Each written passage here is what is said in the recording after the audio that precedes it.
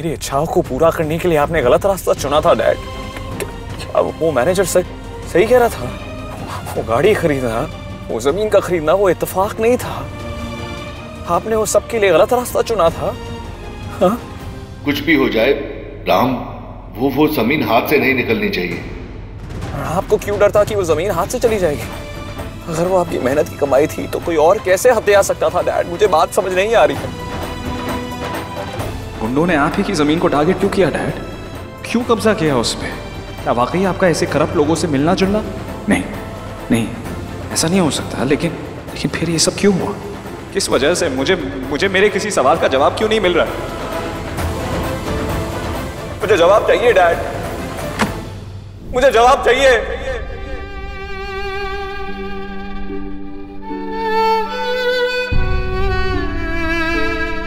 हिम्मत रखिए, माँ। आप ऐसे टूट नहीं सकते। डैड आपको रोते हुए देखेंगे तो डैड को कितना बुरा लगेगा। मैं हूँ आपके साथ। हूँ? मैं नहीं कर सकती राम मुझसे नहीं होगा।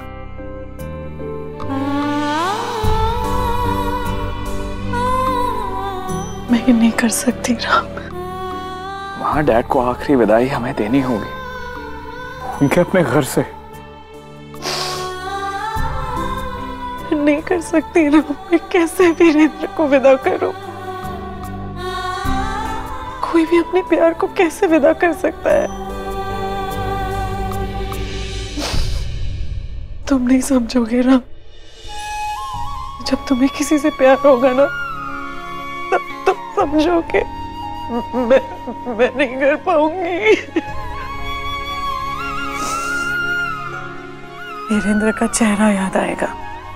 उनकी हँसी याद आएगी, उनकी सच्चाई, उनकी ईमानदारी। मॉम भी आपकी अच्छाई, सच्चाई और ईमानदारी की मिसाल दिया करती थी, डैड।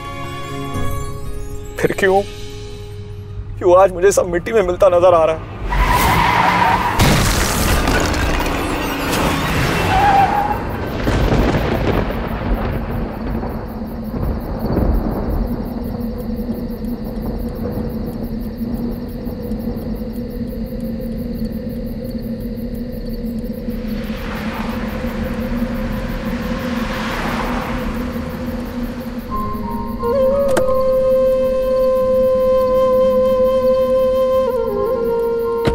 आप जाओ भैया।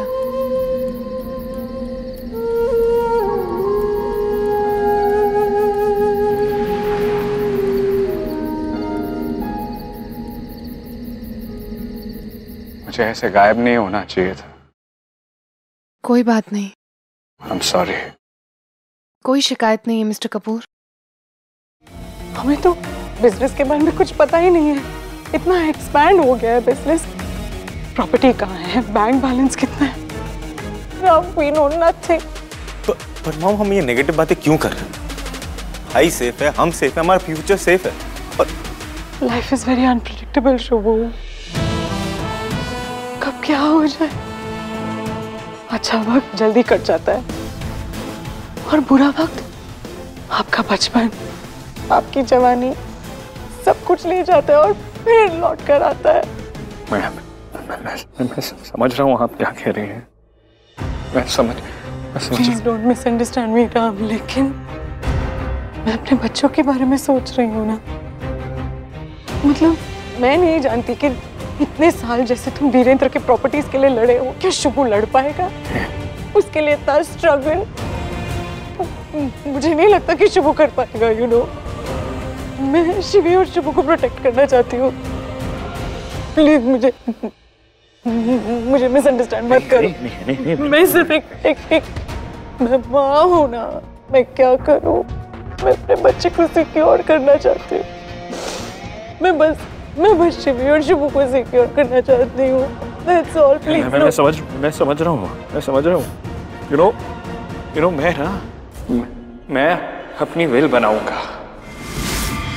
Sort this out Are you sure? So sorry I मुझे इसके बारे में पहले ही सोचना चाहिए था। अरे मैं तो घर का बड़ा हूँ। आप सब मेरे अपने हैं मुझे आप लोगों के बारे में मुझे मुझे पहले सोचना चाहिए था। थैंक्स टू यू मॉम आपने मुझे ये बात समझाई।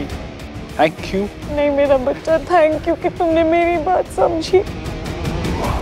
थैंक यू नहीं नहीं प्लीज़ नहीं आप वैसे मत करिए मैं आप प्लीज़ आप ये सारा बोझ ना मुझ पे छोड़ दीजिए मैं हूँ ना। आपका आराम है ना? हुँ? मैं, मैं आदि से मिलकर आता हूँ मैं, मैं ये सबका ना आई फाइंड सोल्यूशन मैं करता हूँ मैं कुछ तुम माँ का ख्याल रख मैं शुभ मैं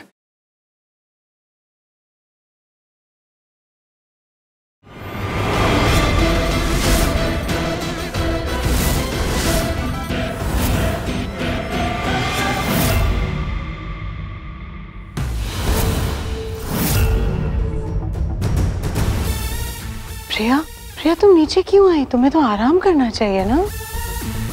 मॉम मैं प्रिया भाभी को थैंक यू कहना चाहता हूँ। थैंक्स भाभी।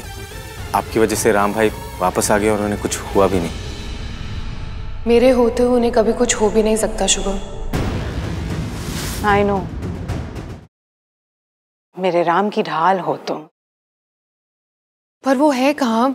मुझे उनसे कुछ बहुत ज़रूरी बात करनी है। Are you serious? Yes make that will please Will? इतना ओवर रिएक्ट करने की ज़रूरत नहीं है। हम आज हैं कल नहीं। और ऐसे में अगर कोई फैमिली मेंबर जो जो बिज़नेस संभाल रहा है वो गुजर जाए तो फैमिली का क्या होगा? वो तो बेसहारा हो जाएगी ना। अरे पर विक रुक जा। बोलने दे उसे। यार तुम लोग तो जानते हो यार। डैड के चले जाने के बाद सारी रिस्पॉन्सिबिलिटी मुझे खुद पर लेनी पड़ी। मैंने शुभू को बड़ा तो किया, लेकिन खुद के पैरों पे खड़ा होना नहीं सिखाया। शिवी की हर जिद पूरी की, उसे जिद्दी बना दिया। लेकिन ज़िंदगी में कोई एम होना या ज़िंदगी में कुछ करना, ये मैं उसे सिखा ही नहीं पाया है यार। उन बच्चों से मैं क्या एक्सपेक्ट कर सकता हूँ यार? मतलब वो बिज़नेस कैसे संभालेंगे जब मैंने ही उन्हें कुछ कुछ सिखाया नहीं यार। ये रिस्पॉन्सिबिलिटी मेरी है, इसलिए विल बनेगी। Get me the rough draft quickly हाँ आदि। ठीक है। हो जाएगा। अरे पर मैं क्या बोल रहा हूँ? लेट्स डू इट क्या लेट्स डू इट ये कुछ क्या सोच क्या इतना नेगेटिव क्यों सोच रहे तू? क्या हो गया? अबे वैसे भी तुझे कुछ नहीं होने वाला यार। तू ना सौ साल तक हमारा ही खून पिएगा यहीं पे बैठ के। देख लेना तू। कैसे पता तुझे? प्रिया प्रिया है ना? वो कभी तुझे कुछ होने देगी। प्रिया तुम तुम यहाँ तुम तुम तुम्हें आराम करना चाहिए। तुम यहाँ क्या कर रही Ram, uh, we need to talk.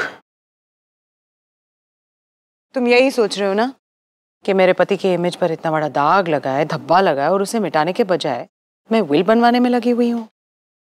यही सोच रहे हो ना तुम? नो मॉम ऑनेस्टली मुझे नहीं समझ में आता आप कब क्या सोचती हैं सो अब मैं कोशिश ही नहीं करता। लेकिन मेरी हर वक्त सिर्फ़ एक ही कोशिश रहती है शुभो कि मैं अपने बच्चों को प्रोटेक्ट करूँ हमारे फ्यूचर को सिक्योर करूँ। For more updates, subscribe to our channel, click the show links and enjoy watching the videos.